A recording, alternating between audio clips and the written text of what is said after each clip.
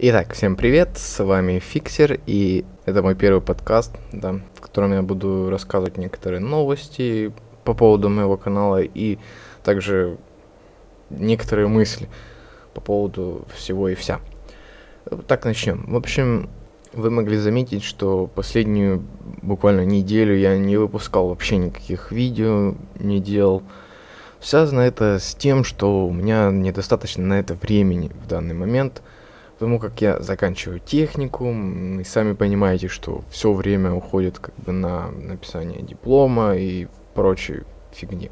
Да, ну вот как раз сейчас э, немного появилось свободного времени, я решил записать такой подкаст, небольшое обращение к вам, не знаю, как что-то в этом роде. В общем, сейчас попробую после этого еще записать какой-нибудь летсплейчик, возможно, может еще что-нибудь. Ну, в общем, пока есть время, буду этим пользоваться. Но еще связанное с временем, я хотел бы ответить на такую просьбу, не знаю, предложение делать летсплей каждый день, а именно по Fallout меня просили делать каждый день новый летсплей. Но тут я должен сказать, что есть одно но. Это не так легко, как кажется. То есть, собственно, не знаю, хотелось бы больше уходить в сторону качества, а не количества моих летсплеев, как бы, то есть, чтобы более они интересные были. А если я буду каждый день записывать эти видео, они будут унылые неинтересные. И вообще я боюсь скатиться до уровня Black Silver. Ну, не знаю, скатиться. У него все-таки есть 300 тысяч подписчиков, и как бы им нравится то, что он делает. Но, не знаю, мне не нравится то, что он делает, потому как половину времени он в своих летсплеях просто молчит или говорит там, я не знаю, о, камень, о, текстурки, о, еще еще что-то. Не знаю, неинтересно такие мне летсплеи конкретно смотреть, и сам я такие летсплеи не хочу делать. Поэтому каждый день от меня видео не ждите, ну, по крайней мере, пока что. Возможно, когда-нибудь я все-таки дойду до этого и смогу каждый день делать хорошие летсплеи, ну, или хотя бы приемлемого качества для меня. Здесь я также должен сказать, что компьютер у меня далеко не топовый, и рендер видео занимает достаточно много времени, как по мне. Для примера скажу, что рендер 20-минутного ролика у меня занимает целый час времени. Ну и я считаю, что это достаточно много. Плюс к этому нужно сделать какой-то минимальный монтаж, потом оформить превьюшечку, нарисовать в фотошопе, там найти картинку, подобрать, там сделать все эти надписи, потом еще нужно добавлять всякие аннотации, чтобы это было удобно смотреть, если в первый раз зашел на мой канал и так далее и тому подобное. И достаточно много времени уходит на каждый ролик, и делать их каждый день не так легко. Вот именно поэтому. Ну, собственно, на этом все, да. Пожалуй, с этой темой мы закончим.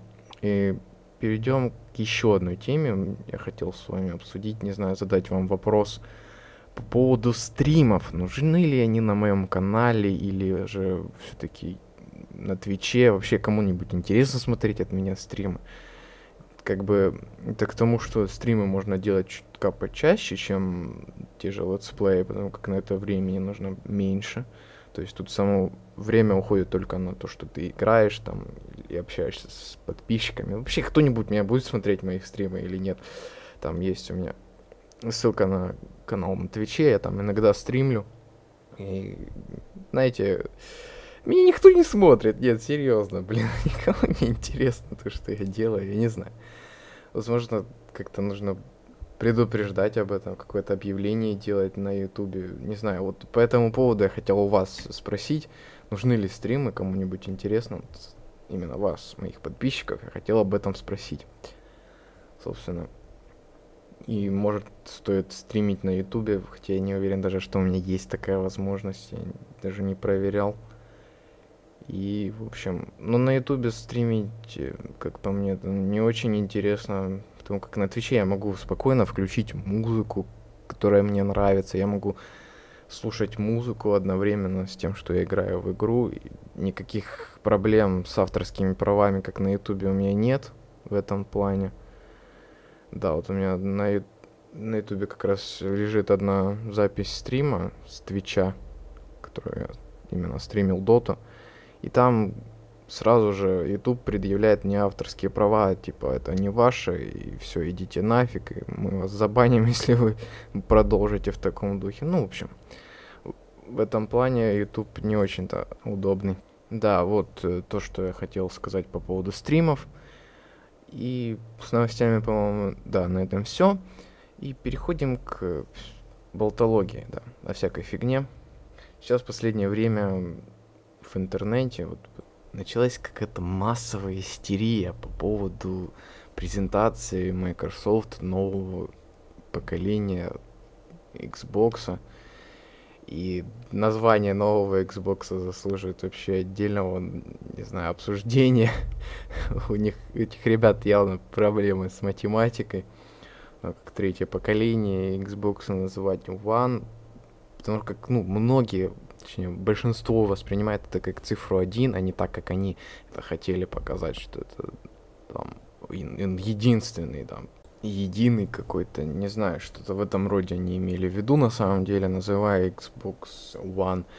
Ну, люди это так не воспринимают, и поэтому я считаю, это полный провал со стороны Microsoft с названием.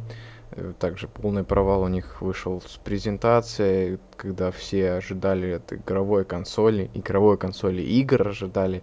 Они сделали акцент на телевидении, просмотре телевизора, каком-то голосовом управлении, которое сейчас поставили под сомнение. Все сказали, что там человек часто слишком лазил в карман и управлял этим всем с пульта. Ну, может, это связано, в принципе, с какими-то техническими трудностями на презентации, именно в том плане, что система не могла корректно работать.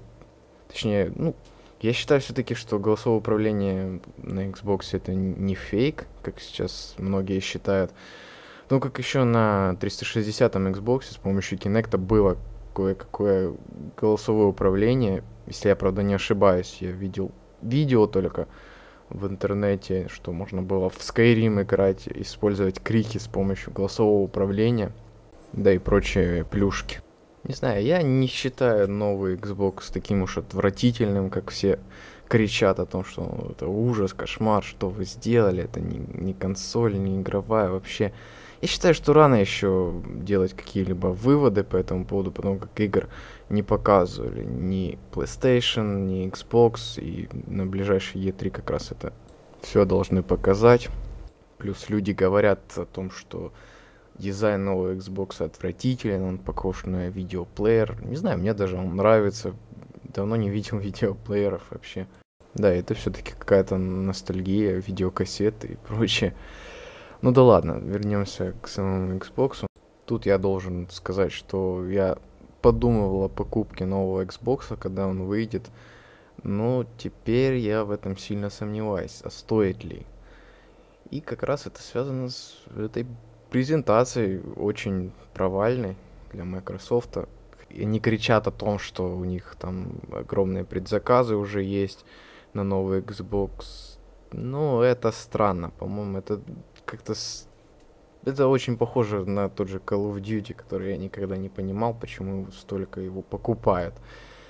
Но все-таки есть что-то в этом, не знаю, массовый заговор какой-нибудь или еще что-то в этом роде. Масоны управляют людьми и заставляют их покупать все эти вещи не очень-то хорошего качества. Не знаю, что-то в этом есть такое похожее. Ну да ладно, это все фигня. Также по поводу теории всемирного заговора тут говорили о том, что Kinect будет постоянно включен, он будет слышать и видеть, кто что делает и прочее. Это как бы слежка. Microsoft обвиняет в заговоре с правительством, чтобы там, не знаю, управлять людьми также.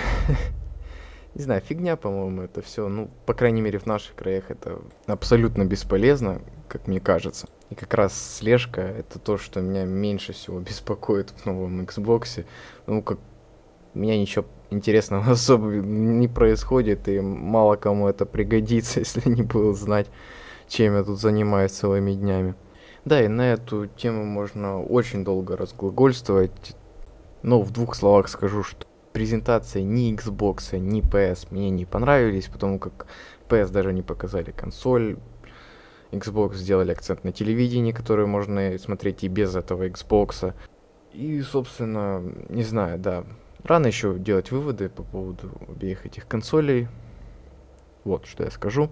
Посмотрим, что будет после E3. И думаю, эта массовая истерия еще будет очень долго длиться, как раз до выхода. И итоги этого всего будут подведены уже после выхода этих консолей. Посмотрим, как они продадутся. Вот что мне самое интересное, что больше будут покупать. Но это надо ждать. Ну и на этом, пожалуй, буду заканчивать. А то я тут как-то много уже наговорил. Для первого подкаста это очень много, мне кажется. Ладно, всем спасибо, что слушали меня или даже смотрели. Всем пока. С вами был Фиксер.